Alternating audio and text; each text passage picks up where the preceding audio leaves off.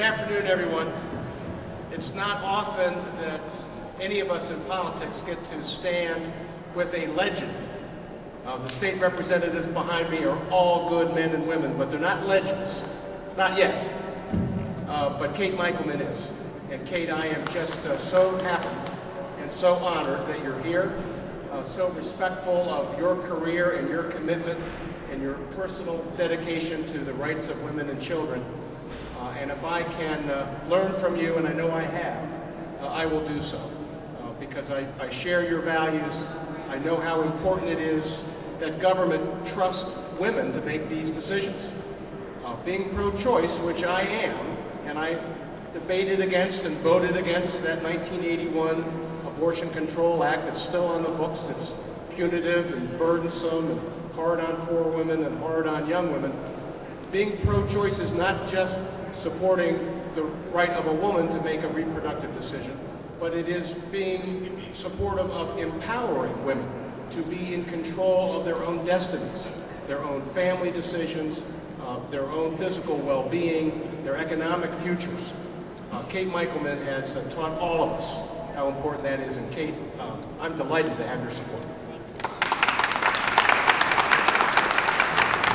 To uh, Josh Shapiro, uh, thank him for everything he does and for his leadership uh, and for the wonderful way he represents me in the State House. Um, and I'm glad to call Josh and all of these fine representatives my friends. They're giving wonderful public service and I, I salute them all. I'm running for governor because I want to challenge state government to do a better job for the citizens of Pennsylvania. Um, I love public service, I, I love this state, and I love this country, and I want to be part of making a positive change in people's lives. I know that we need a governor who's willing to challenge the way we do business here in Harrisburg. We need a governor that's willing to challenge the legislature to fix itself. We need a governor willing to challenge the broken budgetary process. And we need a governor willing to challenge the people of Pennsylvania to get engaged, to, to, to fight for uh, their rights and the rights of all of their fellow citizens. And we need a governor to appeal to those citizens based upon their hopes and their dreams, not their fears and their anger. I want to lead the Democratic Party to the progressive center in Pennsylvania politics, where we have a, a firm commitment for values that are socially liberal, and programs that are fiscally responsible, and a relentless commitment on creating jobs and improving public schools and extending health care. Uh, I know that government has an important role to play. Ronald Reagan was wrong when he said that government is the enemy. The government is us, and we have to pull together in order to improve the quality of all of our lives. And I know government's necessary to fight discrimination. Uh, we, there are long uh, standing battles against discrimination that we know about and we fight. Racial and, and ethnic and, and um, a sad list. But there are others that are less obvious that are just as insidious. The discrimination against the sick and the uninsured uh, from poor uh, insurance practices.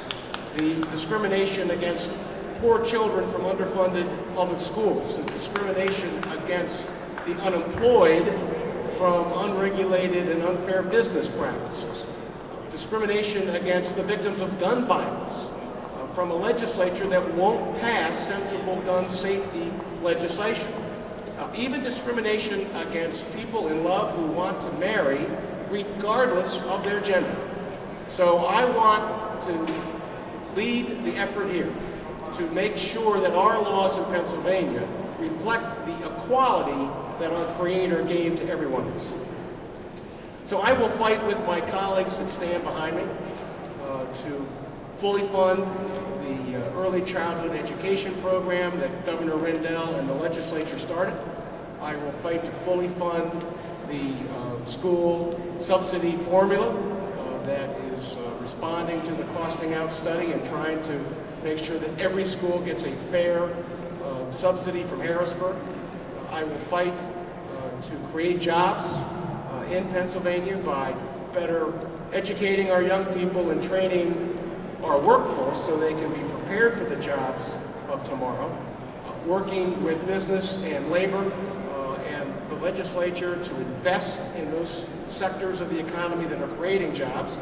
And speaking of labor, let me point out my good friend Dan Woodall, uh, whose uh, Laborers Local has endorsed my campaign.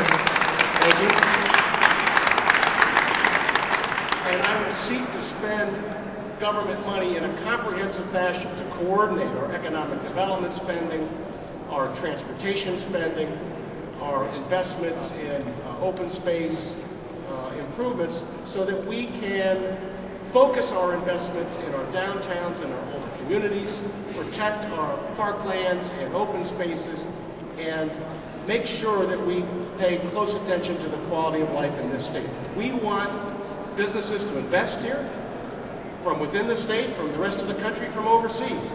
We want our high school graduates and college graduates to stay here. And we have to make sure that we continue to make Pennsylvania a wonderful place to live and work and raise a family. So I know that our best days are in front of us.